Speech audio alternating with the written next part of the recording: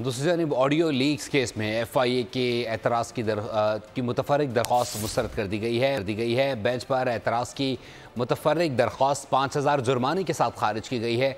अदालत का D G F I A के खिलाफ तोहन अदालत की कार्रवाई का इंदिया भी दिया है। मजीद जान लेते हैं। मोहम्मद अली जैसे अलजा अपडेट कीजिएगा।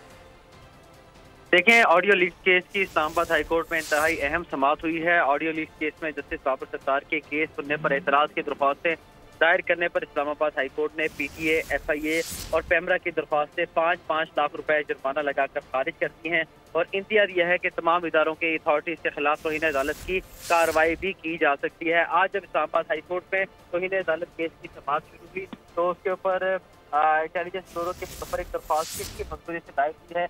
ये जस्टिस बाबर सत्तार ने इस्तफार किया इसके ऊपर एडिशनल और अटॉर्नी जनरल ने यह बताया कि ज्वाइंट डायरेक्टर इंटेलिजेंस ब्यूरो ने मंजूरी दी थी और इसके ऊपर का कहना था कि उनका कोई नाम होगा वालदे ने कोई नाम रखा होगा। एडिशनल अटॉर्नी जनरल ने बताया कि उनका नाम तारिक महमूद है।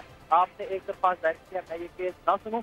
सरकार का कैमरा से सरकार और ये इतराज की ग्राउंड कैसे हो सकती ने कहा, आप इस, इसी फैसले की बिना पर अपने दलाल दे सकते हैं सरकार वकील को दायर की बाद इस्लामाबाद हाईकोर्ट ने पैमरा की दरख्वास्त की, पाँच लाख रुपये जुर्माना लगाकर खारिज कर दी। दौरान समाज बाबर सरकार ने काफ़ी बरती का भी इजहार किया, उनका यह कहना था कि एक पटिशन में एजेंसी से किरदार के हवाले से बात की गई है। इसलिए मैं कह रहा हूँ, अगर एग्जेक्टिव जजिस को ब्लैकमेल करे तो क्या जजिस का मुफादत का टकराव हो जाएगा? मुफादत के टकराव की क्या आप इस तरह तारीफ़ करते हैं?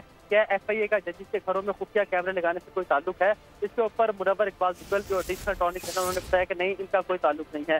एक पटिशन में जस्टिस के किरदार के वाले से बात की गई है इसलिए मैं कह रहा हूँ ये कहना एडिशनल अटॉर्नी जनरल का। इसके ऊपर ने कहा अगर एग्जेक्टिव जजिस को ब्लैकमेल करे तो क्या जजिस का मुफाजत टर्न हो जाएगा? ऑडियो लिस्ट केस में अपने के जो है वो मुस्तरद करते हुए बहुत शुक्रिया आलिजा अपडेट करने के लिए। सब्सक्राइब करें और बेल दबाएँ ताकि कोई खबर रह न जाए।